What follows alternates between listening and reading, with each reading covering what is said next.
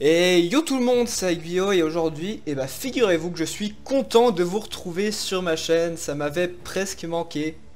Voilà, presque. Donc aujourd'hui, on va parler de choses qui me tiennent vraiment à cœur, euh, de choses très importantes. Euh, et c'est, j'ai peur que ça soit long, donc du coup, bah, on, va arrêter tout de suite cette introduction et on va tout de suite rentrer dans le vif du sujet.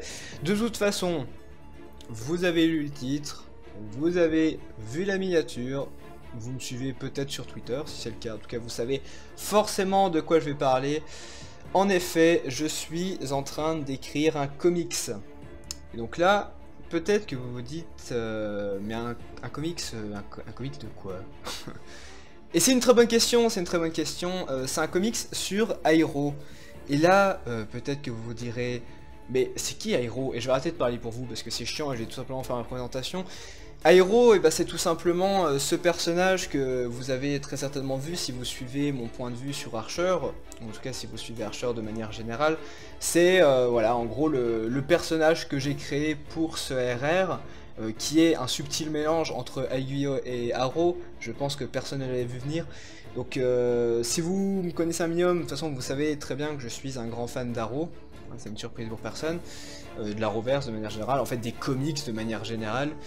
Euh, et donc euh, j'avais créé ce personnage d'Airo pour euh, le RR, et puis c'est vrai que le délire a... Putain le délire, j'ai quel âge Enfin, en tout cas, le, principe a bien plu, d'autres personnes m'ont rejoint un petit peu, ont joué le jeu, on va dire. Euh, et euh, on, commençait à interpréter euh, des personnages de, la série, je pense notamment à Gio qui est devenu Speedy en notre temps, mais on aura l'occasion d'en reparler. Et, ben, j'ai eu envie de raconter une histoire sur Airo. Alors au début ça devait être un film entre guillemets, enfin genre un, un court métrage 30-40 minutes, et puis au final c'est passé sur un format série, et au final, après un bug qui m'a, enfin un fichier corrompu qui m'a bien foutu le seum, c'est redevenu un comics, enfin c'est redevenu, c'est devenu un comics tout simplement, euh, que j'ai voulu faire donc pour raconter l'histoire que j'ai imaginée. Et là, peut-être que vous vous dites, mais quelle histoire on peut bien raconter sur un personnage Minecraft complètement inventé, euh, mélange un petit peu chelou entre Minecraft et Arrow? Bah, c'est une bonne question et, euh, bah, c'est à ça que je vais répondre tout de suite évidemment. Donc l'histoire euh, du premier arc, euh, l'arc City of Heroes, se concentre sur le personnage d'Airo, donc qui en dehors de ses péripéties lors des saisons d'Archer protège une ville qui est nommée Dikepolis, avec l'aide d'autres justiciers qui sont eux aussi des joueurs du RR, hein, qui sont devenus héros pour le comics. Donc on retrouve bien évidemment Gio, euh, Gio947, euh, qui est aujourd'hui plus connu sous le nom de Speedy, dans le comics comme dans la réalité, et euh, qui avait du coup déjà été vu dans Archer, euh, Kijud est devenu Spartan, et Totsu, euh, qui n'a pas fait Archer, mais euh, qui aurait pu totalement le faire, en tout cas, en tant que membre de la team, ça aurait été légitime, qui interprète Connor Hawk, donc qui n'est pas un, personnage de la série Arrow pour les connaisseurs, mais qui est un personnage des comics. Donc tous ces personnages, là, tous ces teams Aero est entouré d'autres joueurs du RR, en particulier par exemple Jazur, donc, qui organise Archer depuis la saison 5, et euh, qui du coup dans le contexte de l'histoire est le maire de la ville. Et euh, alors que tout allait bien dans le meilleur des mondes, évidemment, une menace représentée par Arcos qui n'est définitivement pas une tablette, et par Onphrase, donc qui est défini un peu depuis la saison 4 d'Archer comme étant l'antagoniste principal du RR, va pousser la Team Hero à vivre leur première grosse aventure qui est racontée donc dans cet arc City of Heroes. Donc voilà, donc ça c'est le gros de l'intrigue. Euh, c'est une intrigue qui s'étend sur 4 épisodes plus un épisode d'introduction. Donc maintenant, vous vous dites, euh, est-ce que ça va me plaire?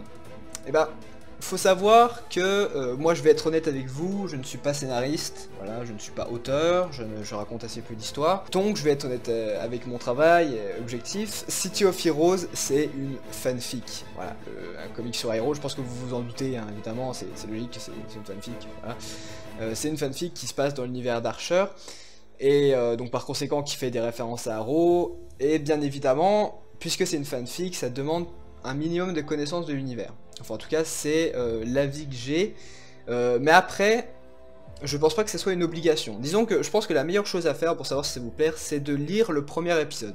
Le premier épisode, il est là juste pour ça. Il est là pour présenter les personnages, l'ambiance, introduire l'intrigue. Il a que pour, là, que pour ça, il fait 16 pages. Euh, donc voilà, donc c'est assez rapide à lire. Et après, quand vous avez lu ça, bah, vous pouvez vous dire euh, est-ce que ça me plaît, est-ce que ça me plaît pas, est-ce que j'ai envie de voir la suite. A vrai dire, je peux pas vous donner une meilleure réponse que ça, parce que moi c'est vrai que je suis impliqué à 100% dedans depuis des mois, donc c'est assez difficile de prendre du recul. Et les seules personnes de qui j'ai eu un retour pour l'instant, c'est des gens qui connaissent Archer. Donc c'est pour moi c'est assez difficile à dire à 100% de manière catégorique vous n'avez jamais vu une saison d'Archer, vous comprendrez. Vous ne savez pas ce qu'est la ratine violette, vous comprendrez. Je pense que vous comprendrez, parce que vous êtes tous des gens très intelligents si vous regardez cette vidéo. Mais voilà, je peux pas vous l'assurer. En tout cas, la meilleure chose à faire pour moi, c'est de vous faire votre propre avis, de lire ce, premier épisode et éventuellement les autres, si ça vous plaît. Et éventuellement, bah, de me le dire après, euh, pour que moi je puisse répondre à la question des gens qui me la posent. Puisque c'est le premier arc, je pense que vous en doutez, il y aura une suite. Euh, le comics est prévu sur trois arcs. Euh, donc euh, voilà, City of Heroes est bien évidemment le premier. Le deuxième devrait être diffusé dans pas trop longtemps. Il sera diffusé différemment, puisque City of Heroes, je balance tout le premier arc d'un coup. C'est histoire d'avoir du contenu et que on puisse se faire un avis parce que si voilà, s'il n'y a qu'un épisode c'est un peu difficile. Mais à partir de l'arc 2, il y aura un épisode à chaque fois que j'en aurai fini un en fait. Voilà, donc ça sera un petit peu plus régulier, à peu près un tous les mois, tous les deux mois, euh, en fonction de mes disponibilités et de ma motivation, bien évidemment. Donc voilà, donc euh, en tout cas pour conclure cette vidéo, bah, j'en profite pour annoncer qu'il y aura d'autres vidéos sur City of Heroes euh, dans les semaines et les mois à venir, dont une dans pas trop longtemps.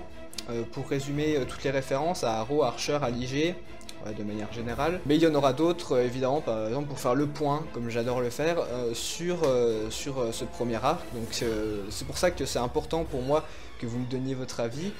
en tout cas, J'espère que ça vous plaira pour ceux qui prendront le temps de le lire et pour cela, eh ben, merci à vous parce que voilà, c'est comme je vous dis, c'est quelque chose de très important pour moi. Euh, ça représente des centaines et des centaines d'heures de travail et je ne je n'exagère pas quand je le dis. Voilà, je les ai pas comptés, mais après une estimation, ça fait un peu plus de 400 heures de travail minimum. Euh, sur mon temps libre à côté de mes études. Donc voilà, c'est un énorme projet. Euh, j'espère que ça vous plaira. Si c'est le cas, si c'est pas le cas aussi, hein, vous pouvez me le dire, euh, soit dans les commentaires, soit en privé sur Twitter, si éventuellement vous voulez pas me défoncer la gueule en direct, euh, enfin en public. Normalement mes DM sont ouverts à tout le monde, même si je vous follow pas ou vous ne me followez pas. Enfin voilà, donc en, tout cas, euh, c'était Aiguillot, merci d'avoir regardé cette vidéo, et le lien pour accéder aux comics est dans la description. Donc voilà, donc sur ce, je vous dis à la prochaine Allez, tchuss